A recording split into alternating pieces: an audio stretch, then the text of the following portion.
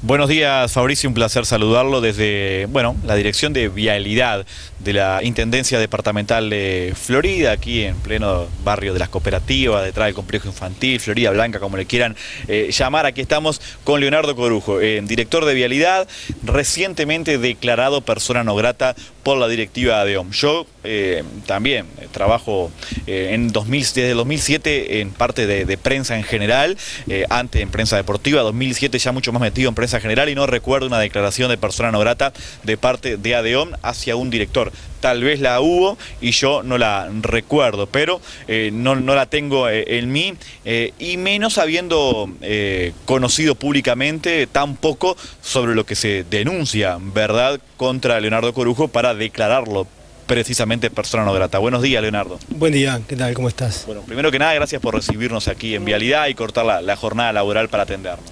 No hay problema, no hay problema. Bueno, eh, ¿cómo, se enteró de esto? Eh, persona no grata. Desde hoy es persona no grata para el gremio que nuclea a los funcionarios municipales. Exacto. Eh, me enteré vía mensaje, yo estaba en, Cerro Colorado, porque eso fue el viernes de noche. Y bueno, lo recibimos con un poco de indignación, por supuesto, porque un gremio tan serio y tan prestigioso como Adión te declare como persona no grata, duele, ¿verdad? Pero bueno, después, si se escuchan los comentarios de parte del presidente y el otro muchacho que no me acuerdo cómo se llama, siempre olvido los nombres de ellos, este, también te das cuenta de que tampoco es tan importante, porque, en fin, el gremio en sí es importante, pero la gente que dice las cosas que dice, mm, le quitas relevancia a, lo que te están diciendo en cuanto a persona no grata, porque escuchás cada pavada que decís, no, esto no es serio. Entonces no hay, que la directiva por ahí no representa lo que es el gremio. Exacto, para mí no hay que dar más por el pito de lo que el pito vale. Pero bueno, indigna, por supuesto. Pero en fin, eh, allá ellos y se harán cargo de lo que hacen y lo que dicen. Eh, acá el personal está trabajando, por suerte. Obviamente están un poquito nerviosos con, perdón, con todo esto, pero hay que seguir para adelante. Bien, se, denuncia o se justifica la declaración de persona no grata por acoso, eh, persecución, maltrato, eh, de todo eso se habla en la resolución de Exacto, e, eso es lo que a mí me llegó. Eh, no tengo así puntuado de quiénes son, a quién estoy acosando, a quién estoy persiguiendo según ellos. Me gustaría saberlo porque así corrijo, si es que estoy en un error, me gustaría corregirlo y cuando vos haces un error sin quererlo y si nadie te lo dice no lo vas a poder corregir. Si estoy persiguiendo a algún funcionario me gustaría saber a quién, porque así digo, bueno, a ver en qué me equivoqué. Eh, y qué es lo que está pasando, porque tengo 130 funcionarios y aparentemente hay como que, según ellos, persigo a 4 o 5 funcionarios. Es raro, ¿no? En 130 que persigas a 4 o 5, pero bueno, eh, así lo ven, eh, sabrán ellos por qué. Eh, capaz que a ellos les, resulta eso de persecución, eso que a mí me gusta trabajar y que me gusta que trabajen con honestidad. Bueno, eso sí, acá se trabaja y se trabaja con honestidad. Acá el que no es honesto, que no se pare al medio porque lo parto. ¿Es exigente? No, yo no, los vecinos son exigentes. Es así, los vecinos nos pagan el sueldo para que trabajemos ocho horas, no para que miremos o, hagamos cebo o, hagamos cosas de las que no tenemos que hacer. Y bueno, eh, nosotros acá representamos a los vecinos y ellos nos pagan el sueldo para eso, así que bueno, acá hay que trabajar y con honestidad. Eh, pasa por ahí. Recuerdo alguna vez que el intendente dijo en un conflicto con ADEON algunos vicios que eh, había, y, no por el ex director eh, vicio, no, lo decía por algunos vicios que tenían los funcionarios a veces de, vialidad. Y usted va a eso cuando dice honestidad. Acá se trabaja con honestidad. Se, cortaron algunos de esos vicios. Puede ser, lo dijiste vos, capaz que sí, que se cortaron algunos vicios. Y bueno, y por ser un vicio es difícil, ¿no? Cuando vos tenés que dejar un vicio, eh, me consta porque yo soy fumador y, estoy intentando dejar el cigarro y dejar un vicio es difícil. Pero bueno, hay que cortarlo y listo. Y acá hay que trabajar y trabajar con honestidad. Y punto, no, no hay mucha más vuelta que darle. Le preguntábamos ayer a Juan Viera, presidente de ADEOM, sobre el tema y decía, eh, porque le preguntábamos, ¿es para tanto para declarar persona no grata? Yo recuerdo en el fútbol, cuando pasa algo al árbitro, persona eh, no grata se lo declara, por algún horror garrafal que por ahí lleve a perder un partido, un campeonato. Eh, ahora, y cuando también hay reiterados hechos en ese caso, que tampoco se justifica, pero ha pasado. le preguntaba si era para tanto y no, nos respondía, de alguna manera hay que pararlo. Por eso te digo, eh, vuelvo al principio, no hay que dar más por el pito de lo que el pito vale, porque yo también escuché en una de esas este, entrevistas que tuvo el señor presidente de ADIOM, de que decía, no sé si fue él o el otro muchacho, que nunca me acuerdo el apellido. Mercadal. Mercadal. Decía, tenemos, hicimos, eh, tenemos los, utilitarios, se lo, logró ADIOM. Digo, ah, mirá, eh, como que comprar cuatro utilitarios, si los pide ADIOM, fuera Andrea Moreno, que es la directora de abastecimiento, levanta el tubo y dice, mandame cuatro utilitarios que me pidió Dios. No es así, no es serio. O sea, se lo pueden creer ellos, más nadie. Cuatro utilitarios que estaban en el presupuesto quinquenal, que llevó un proceso de licitación, por supuesto, mm, que lo que lleva una licitación, toda la parte burocrática, o sea, no es de ayer que ellos pidieron los utilitarios, porque sabían que venían el martes, el viernes decidieron no llevar la gente arriba, el viernes, porque sabían que llegaban el martes que comprar cuatro utilitarios, que, te vuelvo a repetir, que levantar el tubo, che, mandame cuatro, dos en bizcocho. No, no puede ser tan payaso. No es así. Eh, esos son los logros, yo qué sé. En fin, por eso te digo, cuando veo esas cosas que no son serias, esto otro tampoco lo veo serio. No lo veo serio. Por lo tanto, en fin, le, resté importancia. Eh, trabajo normal. ¿Cambian algo el diario vivir con los funcionarios acá, esta declaración? No, no, para nada, para nada, para nada, se hacen cargo ellos. Si bien ellos eh, obviamente son ADIOM y son, son los representantes de los funcionarios, creo que en la gran mayoría, creo no equivocarme, la gran mayoría de los funcionarios no están de acuerdo. Pero bueno, habría que preguntárselos a todos y a cada uno de ellos, ¿verdad? Eh, no puedo hablar por ellos. Pero en fin, eh, lo que decía hace un rato, tenemos 13 cuadrillas trabajando a 13 frentes a full por cuatro o cinco funcionarios que se sientan perseguidos, yo no voy a cambiar el ritmo de trabajo ni la forma de trabajar, los otros funcionarios tampoco. Así que bueno, que se hagan cargo ellos y esos funcionarios que se sienten perseguidos. Yo qué sé, yo intento hacer las cosas bien porque los vecinos así lo piden y porque tengo que llevar el sustento a mi casa todos los días igual que los funcionarios. Ayer hablábamos con el intendente eh, interino, eh, Oscar Arizaga, eh, Fabricio Álvarez le preguntaba, y bueno, él dio un respaldo hacia su persona. ¿Ha hablado con gente del gabinete? ¿Ha recibido ese, respaldo también ya oficial de parte de sus compañeros? Sí, sí, por suerte sí. Inmediatamente que me enteré de, los, de los hechos, de, lo que había dicho Adión, eh, de hecho, me enteré por ellos, inmediatamente todos me llamaron y, bueno, en el grupo que tenemos en el equipo todos dan el respaldo, que te da una tranquilidad enorme, por supuesto, porque yo me siento tranquilo que estoy haciendo las cosas bien, pero de todas maneras que, el equipo te respalde y, esté contigo es importante, por supuesto. pregunta por qué con usted, por qué eh, la declaración de persona no con usted, eh, por qué termina siempre Leonardo Corujo en este caso. En realidad el foco estaba en otro lado, ADEOM con el Ejecutivo, talleres mediante, ahora una denuncia en la DINATRA. ¿Y por qué no ganan una, che? No ganan una. Y bueno, está. Y esta tampoco la van a ganar. Acá yo estoy para trabajar y con honestidad. Y el que no quiera trabajar con honestidad, es bueno, que se sienta perseguido y, bueno, que haga las cosas bien y si las quiere hacer mal, mala suerte. Fabricio, eh, le coloco auriculares por si quedó algo colgado para hablar con, el director de Vialidad. Eh, yo le decía a Fabricio Álvarez hoy de mañana que también algunas de sus declaraciones públicas, las últimas realizadas tal vez en rompecabezas, eh, bueno, generaron mayor distanciamiento con, con, ADEOM y también fueron importantes para esta declaración, según me enteré de forma extraoficial, esos comentarios que usted había hecho sobre el gremio, sobre algunos de sus jerarcas y directivos. Fabricio, lo escucha Leonardo Corujo.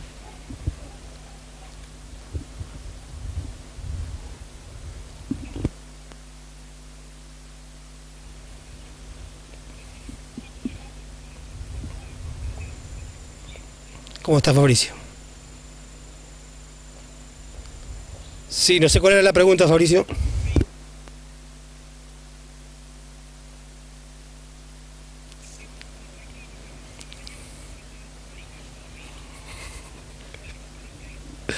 Para mí sí, es una mañana como muchas otras. Eh, de trabajo como todos los días y siempre con algún, bueno, con algún revuelo de este tipo con, de parte de Adión ya se me ha hecho costumbre, así que para mí es un día normal.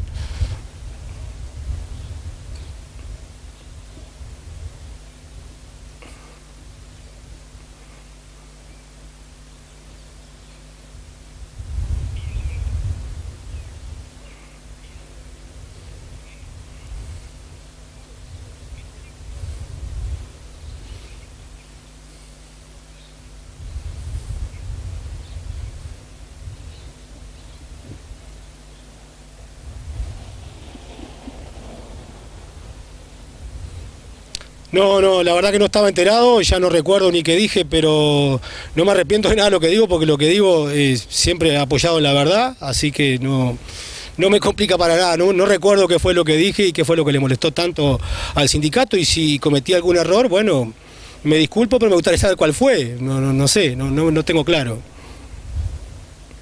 Entre usted y ellos. A mí, yo lo que quisiera yo preguntarle es que me, que me cuente si esto, esto tiene alguna trascendencia en su contra en algo, es decir, de aquí el más, esto incide en su labor o en el Ejecutivo, o le van a pedir que se retracte en algo, o van a pedir que se le acerque al gremio, o usted esto lo va a dejar así como está porque sí nomás.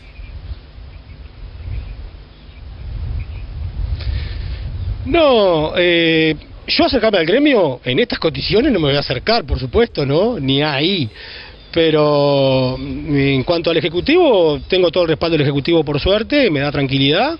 Así que nada, yo voy a seguir trabajando normalmente, como todos los días, y, y bueno, nada. y estos muchachos que según ellos se sienten perseguidos, yo qué sé. Allá ellos, yo voy a trabajar y, y siempre lo que le decía a tu compañero acá, mientras trabajen con honestidad y trabajen, yo no tengo problema. Ah, si te corre de la raya, lo siento. Leonardo, usted nombra 4 o 5, siempre da un número de 4 o 5. ¿Cuántos trabajadores tiene en, vialidad? ¿Cree que ese es un número adecuado, aunque así sea uno para el gremio, usted es un acosador?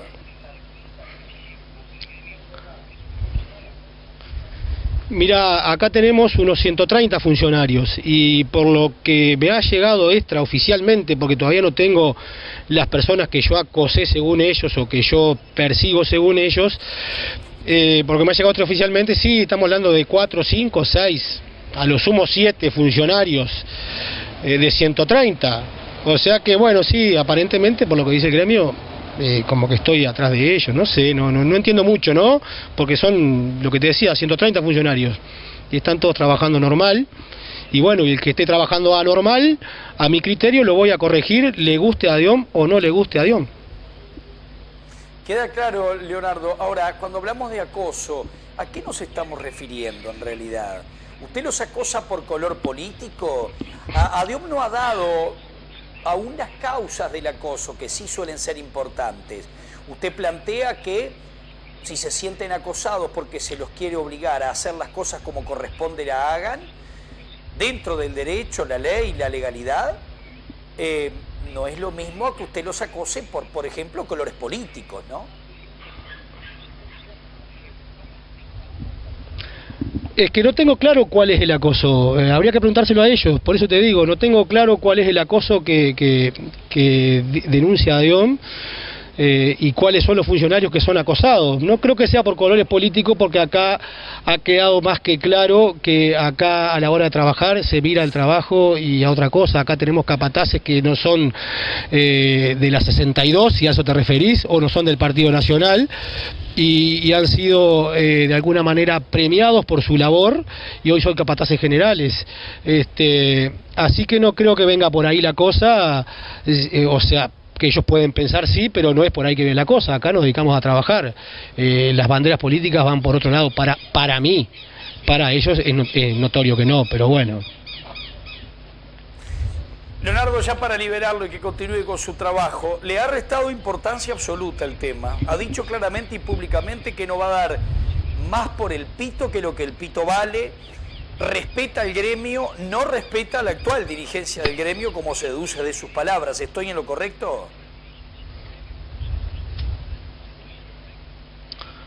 Eh, más o menos en lo correcto. Respeto al gremio como institución, por supuesto, eh, y respeto a, estos muchachos como personas. Eh, tan simple como eso. Como, como me, debo dirigir a todo el mundo, pero, pero es por un tema de principio y de, forma de crianza. Pero nada más, no, no, no, exactamente, no voy a dar más por el pito de lo que el pito vale. tampoco he hecho las cosas en bolsillo roto. Pero bueno, en fin, que, lo manejen ellos como, como les parezca, qué sé yo. En fin, yo acá estoy para trabajar y darle para adelante. ¿No va a ser ningún otro movimiento, Leonardo? No, no, no tiene. Usted había comentado en rompecabezas que si esto continuaba, en algún momento esto se cruzaba la raya, usted alguna medida terminaría tomando. Puede ser, lo evalué, yo este tipo de, charlas y de cosas las evalúo con mi familia, con mi señora en especial. Este, pero bueno, eh, más o menos por ahí fue la evaluación que hice este fin de semana. Eh, no quiere decir que, que, bueno que el día de mañana si esto sigue avanzando pueda terminar en otro en otro ámbito pero por ahora lo que te decía mm, si los escuchás hablar a los muchachos no, no es serio lo que hacen, no es serio lo que dicen, por lo tanto, esto tampoco es serio. Así que bueno, nada, no, no más por el pito lo que pito vale, lo vuelvo a decir. Bien, bien, bien, bien. Yo le agradezco profundamente su tiempo dispuesto para rompecabezas, Leonardo, y, esta, bueno, y estas expresiones. Eh, le agradezco su tiempo como siempre. Eh, un gusto para mí y bueno, cuando quieran los invitamos eh, para que recorran también, porque si no la gente piensa que nos vivimos en estos líos y en estas cositas y que no trabajamos para los vecinos. Estaría bueno que eh, las cámaras de ustedes recorran las obras que tenemos, que los invito cualquier día de esto que a ustedes les parezca. Son muchas y, estamos haciendo mucho por Florida. Así que estaría bueno también que, que los vecinos sepan estas cosas. Y hablando de eso, le vamos a pedir a Víctor si no puede hacer una toma, porque hay una obra acá de ya también para, para mostrar un poco de estos galpones que se están construyendo en el fondo acá de Vialidad, Leonardo? ¿Qué, qué, rol van a tener? Eh, ¿Cuál es la finalidad? Sí, estos galpones que están acá atrás mío, eh, que ya tenemos tres construidos, dos y uno viene, viene en vías D, y después viene uno más grande, que es eh, el traslado definitivo de talleres hacia el parque de máquinas que viene un poquito lento, pero venimos avanzando bien con, con, las obras. ¿Cuántos galpones van a ser en total entonces? Tenemos estos dos chicos, tipo depósitos, eh, tenemos que ubicar el torno por ahí, más el grande que ves allá al fondo, más uno más que se está licitando porque va a ser esas estructuras ya que se vienen. Ya vienen prontas. Vienen prontas, exacto. Mauri, ¿Cuánto estimás que este taller acá? No, de todo pronto para no, que esté. No me animo a, darte una fecha porque realmente no lo tengo muy claro todavía. Te escucha, Fabricio. No, bien, yo no sé si él sabe que la Intendencia no presentaría la ampliación para el 2017, lo estábamos hablando ayer dejaría sin efecto la eliminación de talleres del presupuesto, por lo menos hasta el año que viene. Igual se muda, eh, si aunque talleres no desapareciera, si talleres no fuera reciclado, eh, parecería que talleres debe continuar. ¿Seguimos adelante con todo esto igual que se está haciendo? Eh, taller, la parte que habilidad respecta, sí, seguimos adelante. De hecho, tengo tres mecánicos acá, por suerte, trabajando y muy bien. Eh, estaría bueno también que le hicieran entrevista a los mecánicos, a ver cómo se sienten acá, porque ya hubo esas idas y venidas también. Este, viene un mecánico más que ya pedimos, ojalá que se pueda dar. Así que en lo que a vialidad respecta, sí, lo, lo, tenemos acá y lo vamos a, cerrar pronto acá en el parque de máquinas. Bien, y lo otro que quería cerrar con esto, que nosotros estuvimos a punto de declararlo persona no grata a usted por la patada que le pegó a nuestro director Fabricio Álvarez en el partido Gol Solidario. Lo atendió duro, estuvimos redactándolo, después dijimos no, vamos a frenar por acá. Pero si no tenés pruebas de eso, no, no, no, no corre. Eh, no, no recuerdo. La canilla de Álvarez mostró pruebas al día siguiente. bueno, entonces le pido disculpas a Álvarez por la patada. no, sé Son gajes del oficio. No sé si se las acepto. No sé si se las acepto y es más, estamos estudiando en el equipo del canal también a usted declararlo persona no grata por la patada que aún me duele en la canilla. Total. Bueno, muy bien, Álvarez. Eh, haga lo que le parezca correcto. Que pase bien, gracias por todo, Leonardo. Gracias, Mauricio, por esa nota. Chao. Bien, cerramos de aquí.